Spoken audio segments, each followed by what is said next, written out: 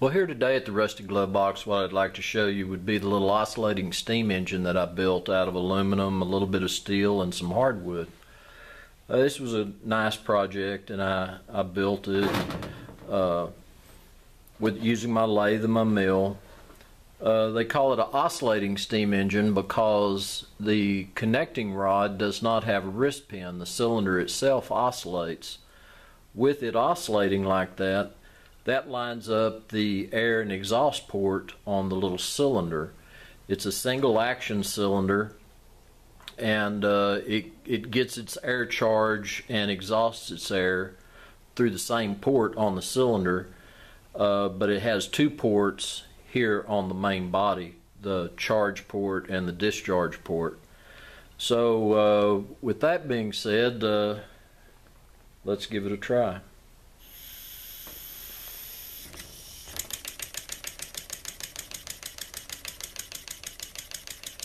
It's a fairly smooth operating little engine. Uh, doesn't take a lot of air and uh, it'll turn pretty slow.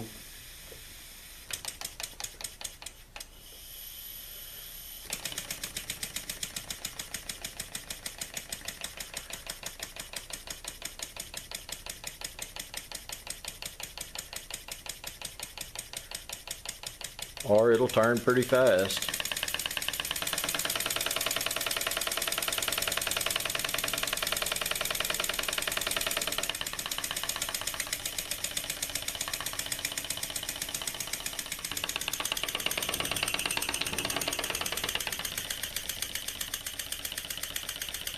I don't think this engine would possibly be overcome by air pressure uh, because the the cylinder is held in place by a bolt with a spring so it has spring pressure on it. Uh, so if by chance the air pressure should get too high then uh, it could overcome the spring and let the air leak off. So anyway, it was an interesting little project. I plan on building a few more of these. Uh, they're a lot of fun.